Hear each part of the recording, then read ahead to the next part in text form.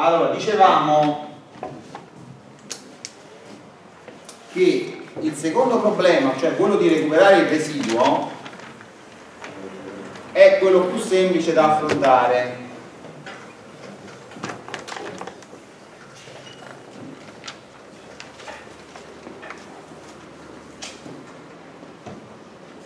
Allora cominciamo a vedere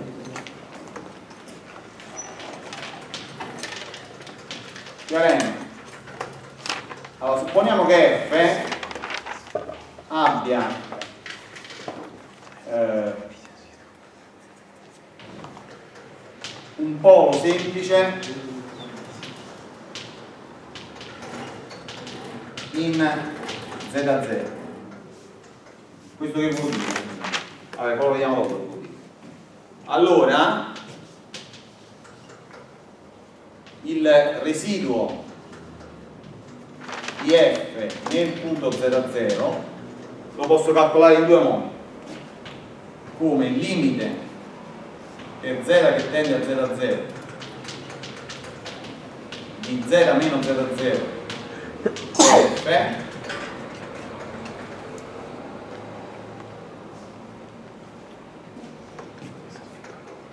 oppure posso calcolare per f di z oppure posso calcolarlo come eh, vabbè come questo basta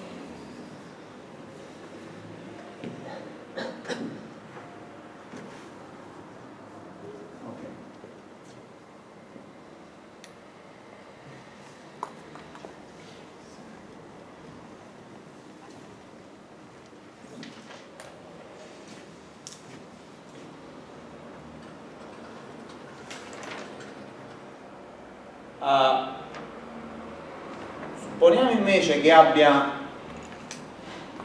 questo è il primo caso secondo caso F ha un polo di ordine n in 0 a 0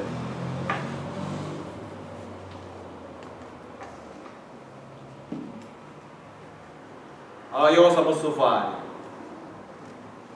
Posso fare il residuo di f in z a 0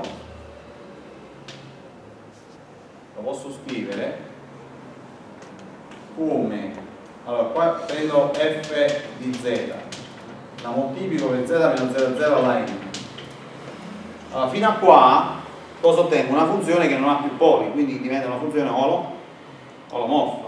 Ma se è olomorfa la posso derivare olomorfa una volta prolungata in 0 a 0. Ma se è olomorfa, questa la posso derivare quante volte mi pare. Allora io dico che questa qua la vado a derivare n-1 volte in d0 alla n-1 e poi il tutto lo devo eh, dividere per eh,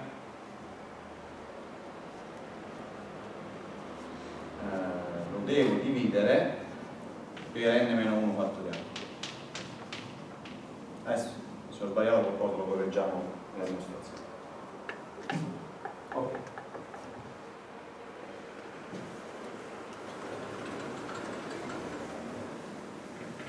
Allora, cominciamo a fare il primo caso. Il primo caso è banale.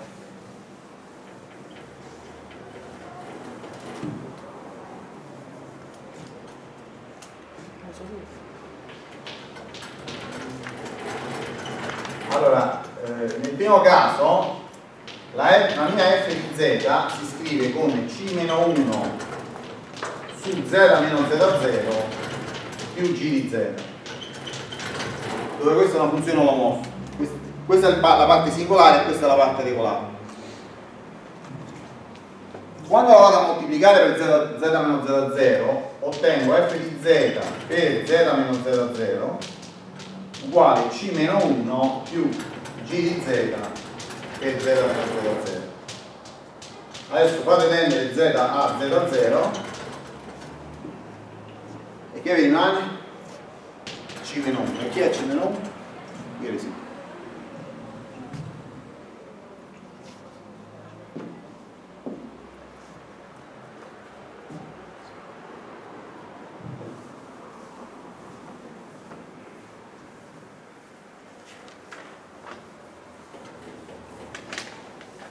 Allora, andiamo a fare il secondo caso. Nel secondo caso f di z la posso scrivere come somma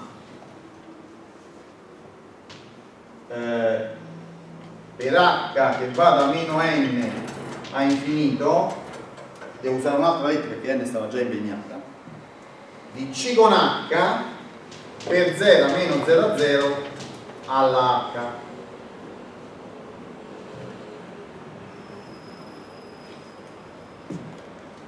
adesso moltiplico per z meno z0 alla n.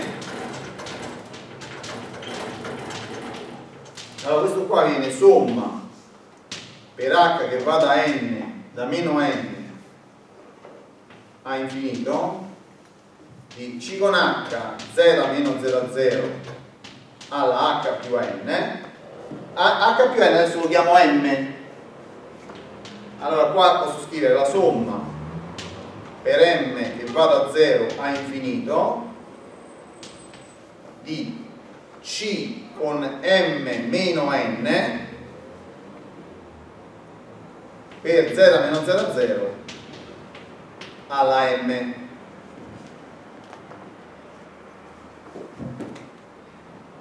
allora qual è il problema?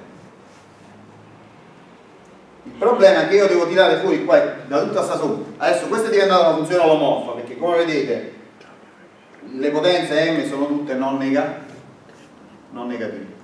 Però devo tirare fuori sempre il coefficiente con l'indice meno 1 perché gli indici qua li ho, non li ho cambiati, li ho cambiato il nome alla m, ma questo parte sempre con c meno n, il primo coefficiente.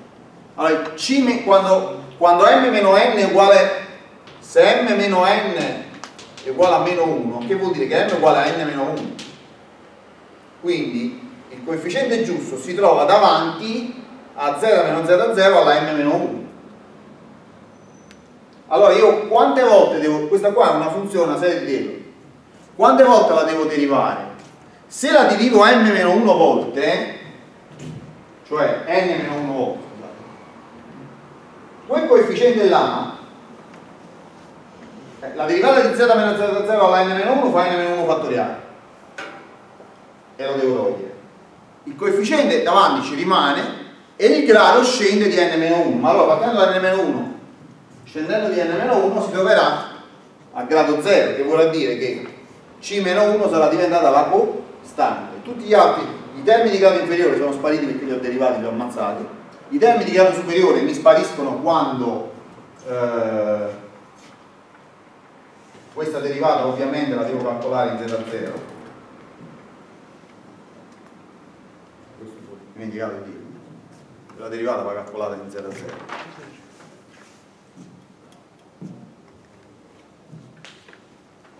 e poi fate la derivata e poi la dovete calcolare in z a 0 ok?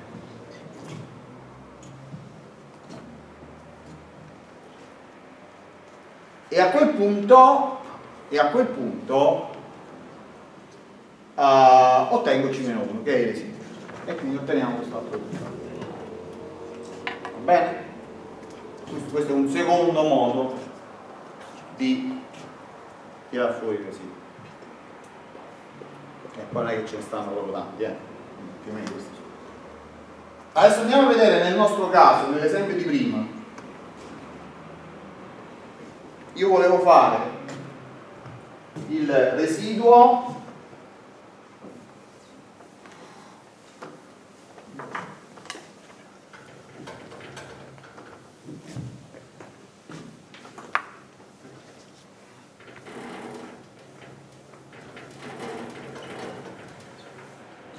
allora, se io voglio fare il residuo di 1 fratto 1 più 0 alla 4 nel punto 1 più i su radical 2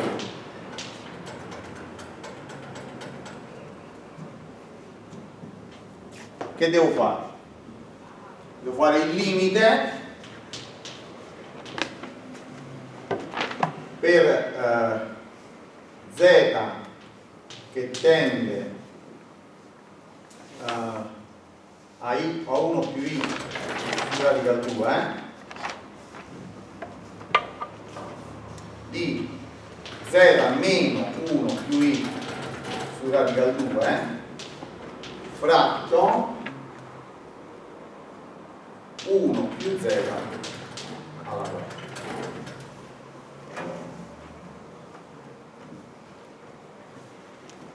allora questo come lo puoi scrivere? qua puoi scrivere? Z meno 1 più i su radical 2 fratto z meno 1 più i su radical 2 per z più 1 eh, meno 1 meno i su radical 2 per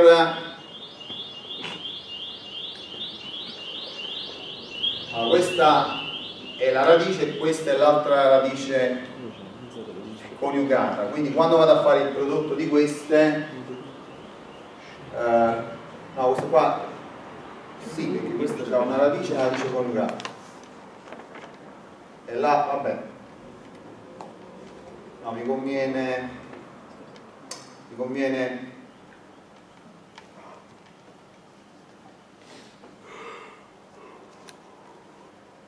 no perché in ogni caso facciamo una radice alla radice opposta. Quindi più 1 più i su radical 2 e poi facciamo z meno 1 meno i su radical 2 allora questa qua è la radice opposta questa cosa mi danno? queste sono le radici di le radici quadrate di i. Quindi questo qua è z quadro più i. Z quadro meno i. A più b era meno b fa quadro meno b quadro questo qua quadrato i e l'altro sarà z quadro più i ok? allora questo e questo si limite all'8 perché? perché questo e questo si semplifica il resto ah no, il limite non lo devo fare il limite per z che tende a 1 più i su radical quindi cosa adesso devo fare? e devo andare a sostituire devo andare a sostituire 1 più i su radical 2 al quadrato fa i quindi questo mi viene uguale 1 fratto 1 più i per radical 2 per 2i perché? allora questo pezzo l'ho tolto, l'ho semplificato perché è uguale al numeratore e denominatore. Quando z tende a questo, se io sostituisco il valore del limite, questo limite non è 0, quindi questo qua si può calcolare, mi fa questo più se stesso, quindi raddoppia, quindi viene 1 più i per radical 2 e l'altro invece viene 1 più su radical 2 al quadrato che fa i, i più i fa 2 ok? quindi qua eh, ho dovuto fare la fattorizzazione in questo caso ho dovuto fare la fattorizzazione del denominatore ma se ci fate caso non ho dovuto fare i fatti semplici. E quindi questo è un residuo. Questo è un residuo. Uh, 1 su 2i questo qua lo posso anche scrivere come 1 meno i su 2 radical 2 per 1 su 2i ok? perché? 1 fratto 1 più i razionalizzando è 1 meno i mezzi. Questo lo lascio, perché lo lascio? Perché quando vado ad applicare il teorema dei residui c'è un 2i da semplificare è inutile a toglierlo. Posso anche toglierlo che 1 su i può moltiplicare per meno i lo posso fare numeratore poi lo devo moltiplicare per i. Analogamente il residuo di 1 fratto 1 più z alla quarta nel punto 1 meno 1 più i su radical 2 a t uguale è uguale al limite per z che tende a meno 1 più i su radical 2 di che cosa?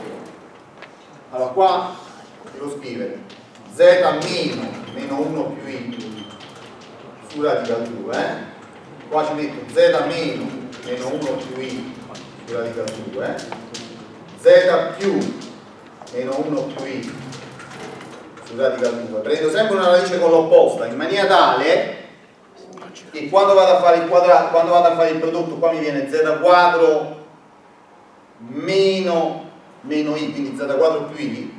E l'altro è z quadro meno i. E se vi ricordate z quadro z alla quarta più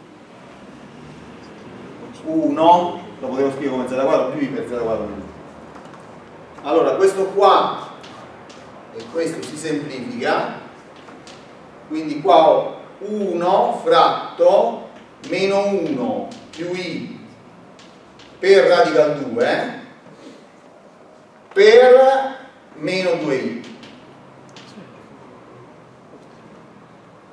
perché il quadrato di, eh, della radice eh, del punto considerato è meno i, meno i, meno i fa meno 2 allora qua intanto cambio segno faccio diventare più i qua diventa 1 meno i. E qua diventa un'altra volta 1 più i eh, su 2 radical 2 per 1 su 2 allora vedete eh? questi sono i due residui. Stavolta invece di 10 minuti abbiamo messi 5 quando vado a fare la, la somma dei residui, dei residui rimane 1 su 2i e la parte immaginaria i su 2 radical 2 meno i su 2 radical 2 andando a sommare se ne va. Quindi quando vado a scrivere l'integrale tra meno infinito più infinito più 1 fratto 1 più x alla quarta di x questo qua fa 2 pi greco i per 1 su 2i e qua viene uh, 1 su radical 2 uh, 1 su uh, radical 2 2i e 2i se ne va e quindi poi è è lo stesso risultato. Ok? quindi come vedete questo è un metodo che accorcia per fare la valutazione del residuo in questo caso, però questo qua funziona solo se ci sono poli semplici. Uh, anche l'altro funziona bene, però quando è che funziona bene? Sia per fare questo metodo che per fare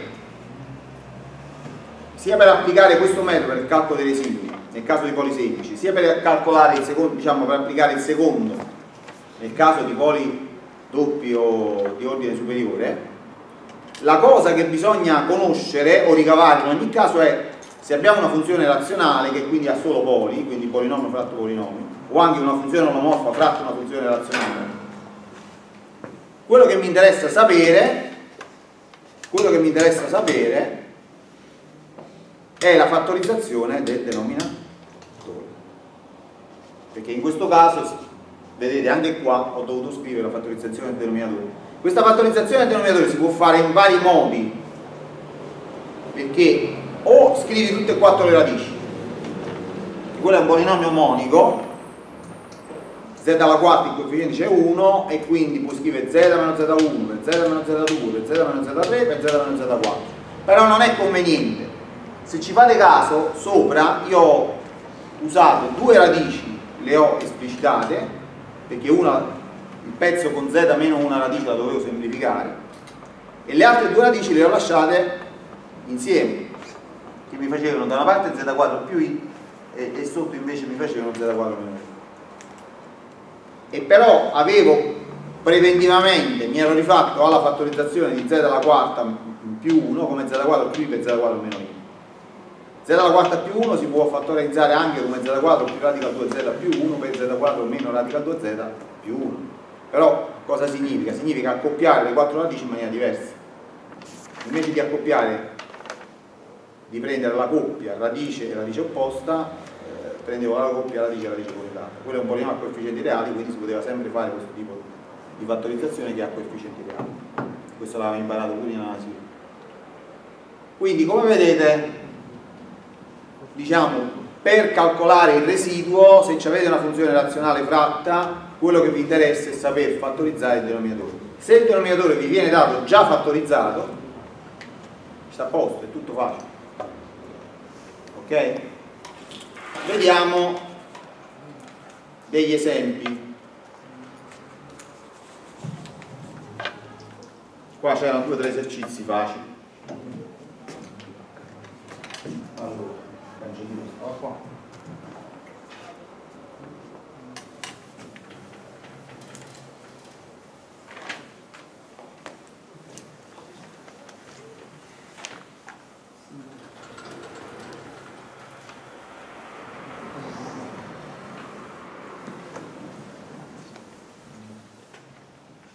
Calcoli i residui z uguale a 0 della funzione f di z uguale 2 fratto z per z meno i. Ora, questa funzione, secondo voi, cosa presenta?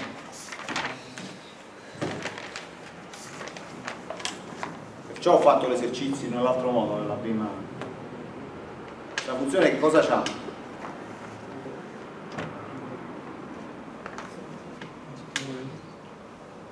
Dov'è olomorfa? In tutto C tranne 0 e 2. Quindi ha due singolarità isolate. In queste due singolarità isolate che cosa c'ha?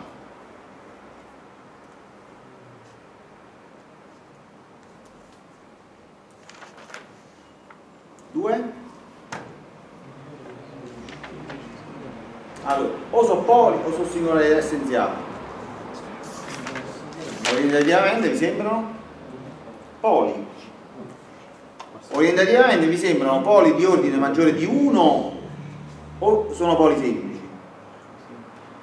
Eh, sono semplici cioè gli zeri del denominatore sono i poli della funzione ogni zero del denominatore di ordine 1 è un polo semplice ogni zero del denominatore di ordine 2, 3, 4, 5, 6 sarà un polo doppio tipo 4 quinto, quinto, sesto è chiaro? No?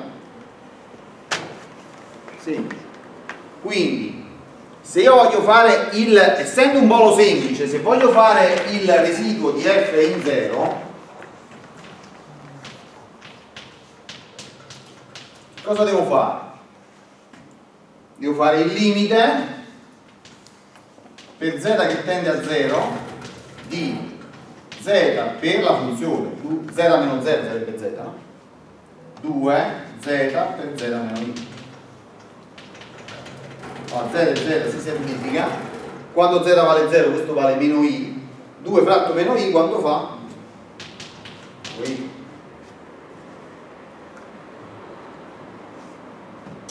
Chiaro?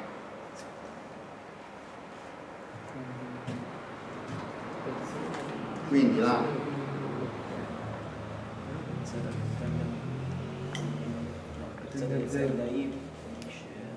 Z che tende a I è residuo in I. Se tu vuoi fare il residuo di F in I, il residuo di F nel punto I è un altrettanto polo semplice, quindi tu devi fare il limite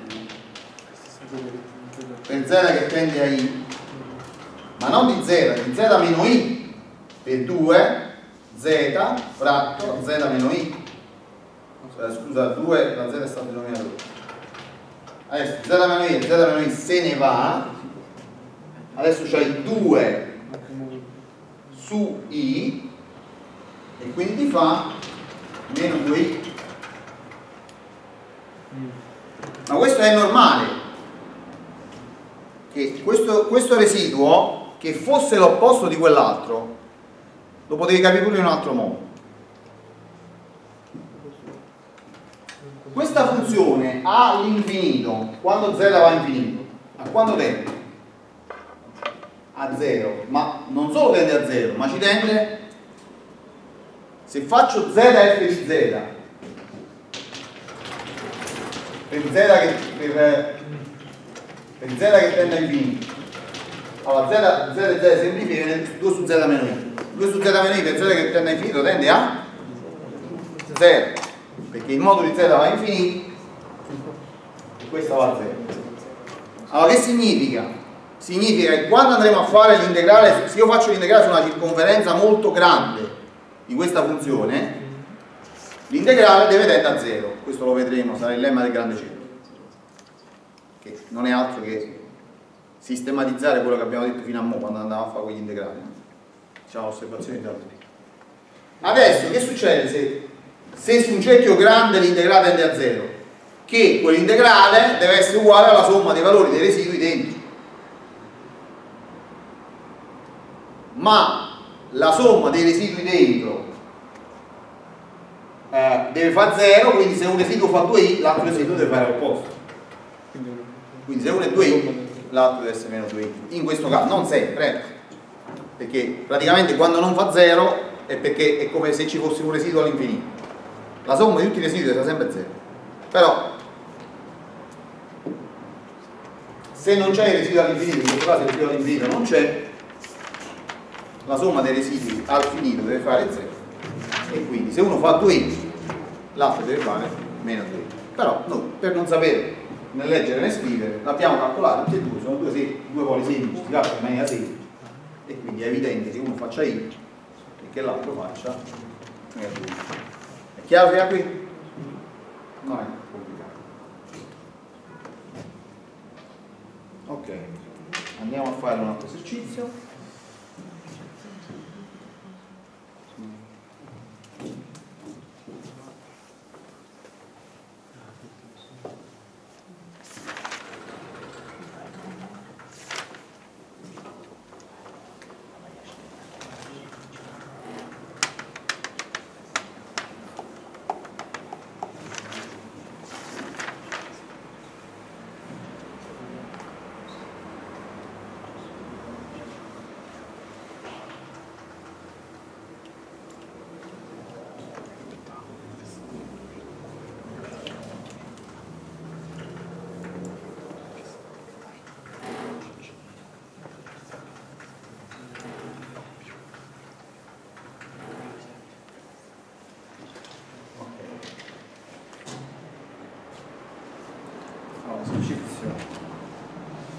Allora, si calcoli il residuo in ogni singolarità isolata della funzione f di z uguale meno 4 fra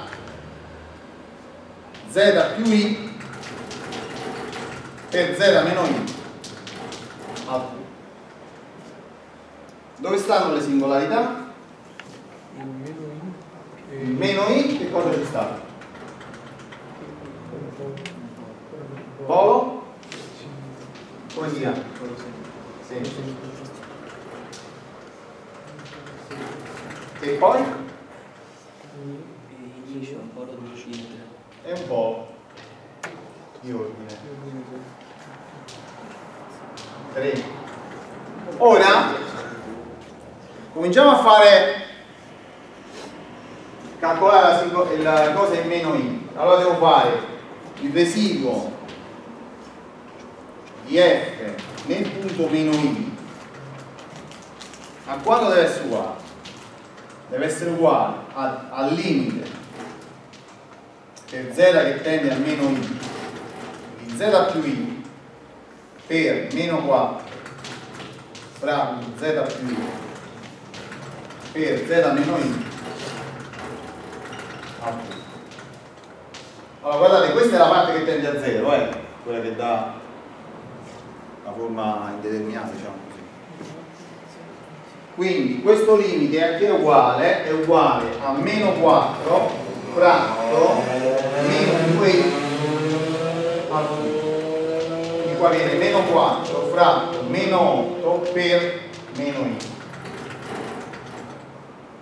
Quindi viene meno che è meno per meno per meno fa meno 1 su 2i e quindi fa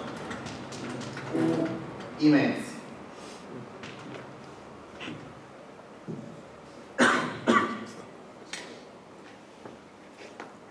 Le moltiplico per x per sotto, sopra viene i, sotto viene meno 1 che semplifico. Questo è il residuo di f nel punto meno i. Ora, secondo voi, quanto deve fare il residuo di f in i? Meno i fratto 2. Il residuo di f in i deve fare meno i fratto 2. Perché? Vediamo se non sapete giustificare però. Allora, questa qua, quando va, quando z va a infinito, non solo va a 0, ma chi è il leading term? Z alla quarta, ci va 0 di ordine 4, cioè ci va 0 più di ordine U che di ordine 1. Quindi questo vuol dire che l'integrale su una circonferenza grande tenderà a 0, allora vuol dire che tutti i residui finito, insomma, devono tendere, diciamo, deve essere uguale a questo integrale, ma questo integrale in realtà appena contiene tutte e due i e meno i fa sempre 0 e quindi uh, i due residui devono essere opposti. Però stavolta è interessante perché l'altro è un polo di ordine 3, quindi che cosa dobbiamo fare? Dobbiamo fare un mezzo per la derivata seconda. Di che cosa? di z meno i al cubo per la funzione cioè devo fare meno 4 fratto z più i.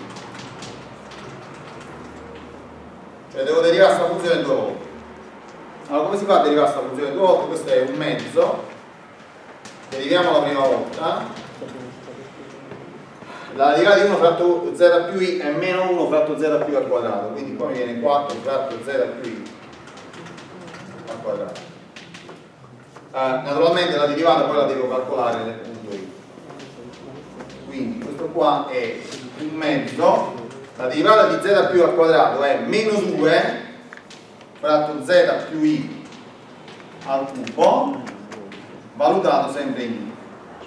Allora qua mi viene meno 1 fratto 2i al quindi qua mi viene meno 1 fratto eh, eh, il 4 non l'ho scordato.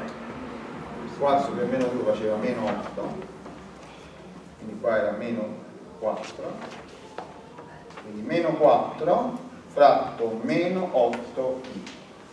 Allora, meno e meno diventa più, 1 su 2i è meno i.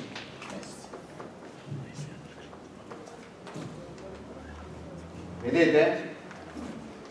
Che i residui sono effettivamente. E questo l'abbiamo calcolato completamente con un'altra formula. Quindi vuol dire che quello che abbiamo fatto fino adesso è consistente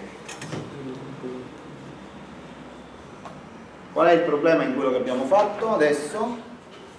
C'è un problema di italiano, perché dalle nostre parti diciamo scordato, ma non esiste perché sh non esiste in italiano. Per questa si dice dimenticato innanzitutto, sono due o tre errori insieme. Dimenticato che la, si scorda la chitarra, poi si dice casomai la chitarra si scorda ma non si scorda. Questo è un altro problema. Vabbè lo faccio l'errore però volendo mi sono corretto. E quindi vedete che i due residui effettivamente fanno uno fa eh, i mezzi e l'altro fa meno i mezzi.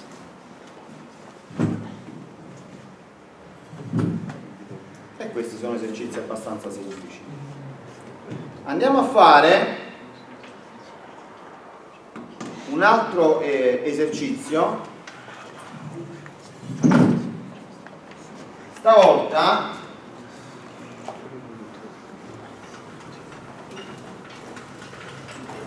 andiamo a calcolare dobbiamo andare a calcolare eh, il residuo in ogni singolarità isolata della funzione f di z uguale seno di yz fratto z quadro per z meno 3 mezzi al quadrato. Allora, quali sono questi residui? Eh, quali sono le singolarità innanzitutto? 0 allora 0 polo di ordine 2 e poi 3 mezzi che sono come lui il fatto che al numeratore ci sia una funzione intera sia di pi con z ci dà fastidio no? non ci dà nessun passivo ok?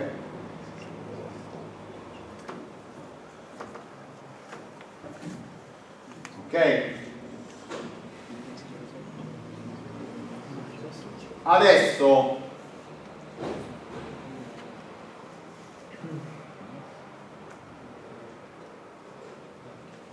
Uh, per calcolare il residuo di f in 0 che devo fare? devo fare la derivata di seno di pi greco z per z meno 3 mezzi al quadrato e poi la devo in se vi ricordate devo moltiplicare z quadro ma siccome poi è di ordine 2 z quadro se ne va.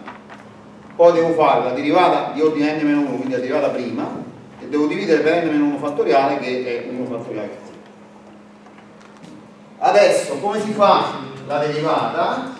Qua si fa z meno 3 mezzi alla quarta per la derivata del numeratore quindi fa coseno di greco z e pi greco e il denominatore non derivato meno la derivata del denominatore quindi eh, due volte z meno 3 mezzi eh, però devo fare sempre sì, eh, per seno di greco z tutto quanto deve essere calcolato in z uguale a 0 allora, che significa? seno di 0 fa 0 le funzioni complesse stanno quelle reali quindi seno di 0 deve fare 0 quindi questo pezzo non c'è. Qua invece mi viene pi greco coseno di 0 fa 1 quindi qua mi viene pi greco poi questo al quadrato si semplifica questa alla quarta quindi mi rimane 0 meno 3 mezzi fa meno 3 mezzi al quadrato sotto quindi qua mi viene 9 quarti quindi questo fa 4 pi greco 9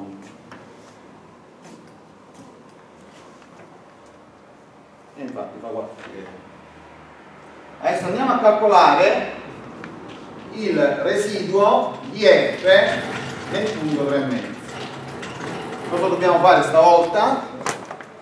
Stavolta dobbiamo fare la derivata rispetto a z della funzione seno di pi greco z tratto z quadro però la dobbiamo calcolare nel punto 3 mezzi perché stiamo a calcolare il residuo nel punto 3 mezzi. Ok? Allora qua che devo fare? devo fare z alla quarta come prima. Pi greco coseno di pi greco z. Per z quadro meno 2z per seno di pi greco z. Ok? e questo lo devo valutare in 3 mezzi. Quindi sotto ciò 3 mezzi alla quarta diciamo 81 sedicesimi e sopra quanto mi viene? a coseno di 3 pi greco mezzi fa?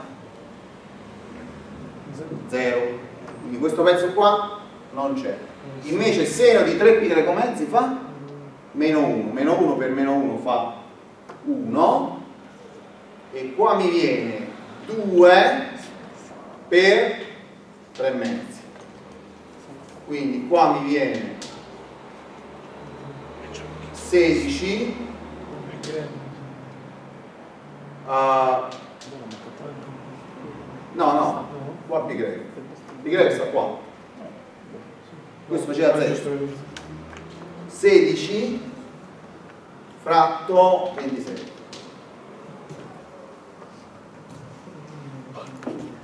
ok. Che significa? Ed è giusto 16 27 vediamo un po' se sapete dirmi che significa.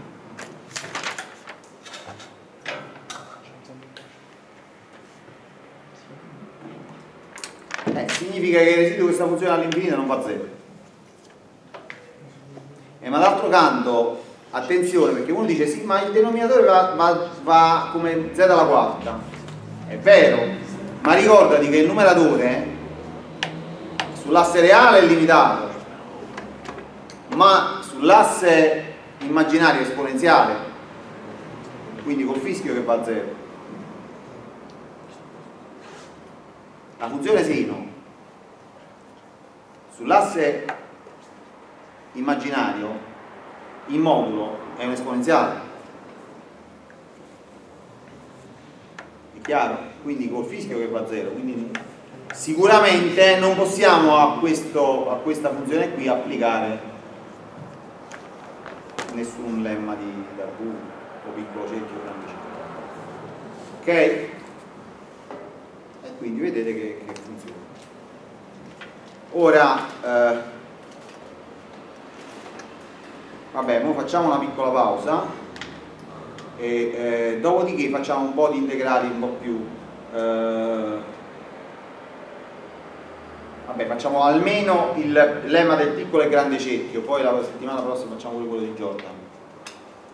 E, e dopodiché eh, facciamo un po' di, di, altre applicazioni del nostro teorema delle simmetrie